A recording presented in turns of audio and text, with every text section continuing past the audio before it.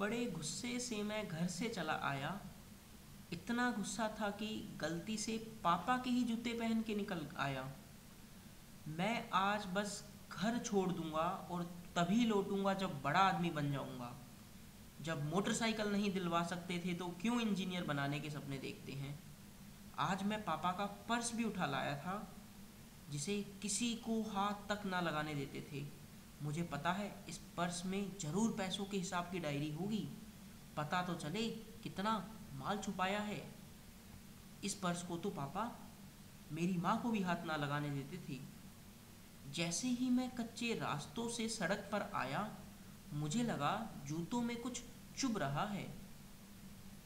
मैंने जूता निकाल कर देखा, मेरी एड़ी से थोड़ा सा खून रिसाया था। जूते की कोई कील निकली हुई थी। दर्द तो हुआ, पर गुस्सा बहुत था और मुझे जाना ही था घर छोड़कर।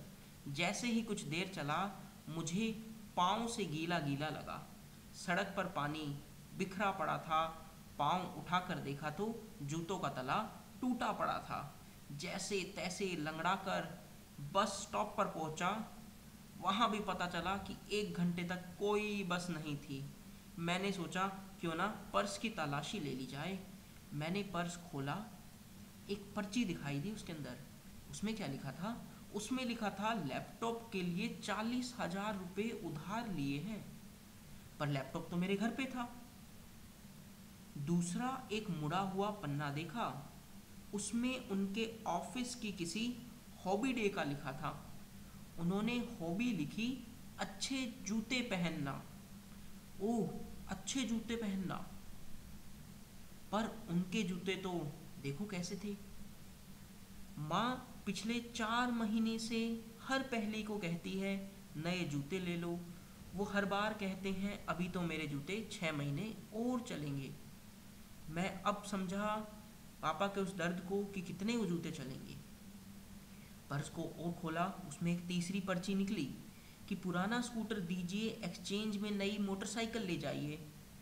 पढ़ते ही दिमाग घूम गया, पापा का स्कूटर ओ हो हो मैं घर की ओर भागा, अब पाँव में वो कील नहीं चुभ रही थी। मैं घर पहुँचा ना पापा थे, ना स्कूटर। वहीं मेरा दिल दहल गया और मैं समझ गया पापा कहाँ गए होंगे। मैं दौड़ा और एजेंसी पे जा पहुँचा, पापा वहीं खड़े थे। मैंने उनको गले से लगा लिया और आंसुओं से उनका कंधा भिगो दिया।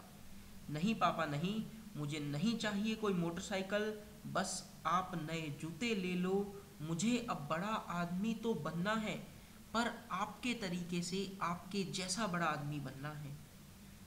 तो प्यारे बच्चों, ये कहानी से आई होप आपको कुछ सीखने को मिला होगा।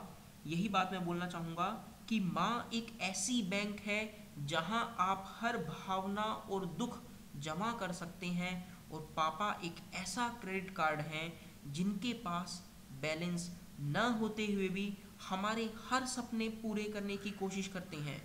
तो आपको बस यही बात बताना चाहूँगा कि प्यारे बच्चों, ज़िंदगी में अपने पेरेंट्स को हमेशा खुश रखें, उनका साथ दें और उनकी हमेशा रेस्पेक्ट करें। तो बस मेरी बेस्ट विशेज़ आप लोग के साथ हमेशा हैं, ज़िंदगी में पढ़ते रहें, मुस्कुराते रहें लाइफ में किसी भी समय आपको दिक्कत आए तो अनिरुद्ध वाले is always there for you आपके पेरेंट्स आपके साथ लाइफ के हर मोड पर हमेशा हैं। आप चाहे किसी भी टाइम उनसे हेल्प ले लें they are always ready to help you किसी भी मोमेंट पे और आप अपने पेरेंट्स से सब कुछ शेयर कर सकते हैं। वो इकलौते ऐसे पर्सन हैं आपकी लाइफ में जो आपसे बिना किसी एक्सपेक्टेशन के प्यार करते हैं। They are the only person in the world तो प्लीज़ पेरेंट्स की रिस्पेक्ट करें वीडियो पसंद आई हो तो लाइक करें, और चैनल को सब्सक्राइब करना ना भूलें। This is simply Anirudh Walia once again God bless you all of you best of luck for your bright future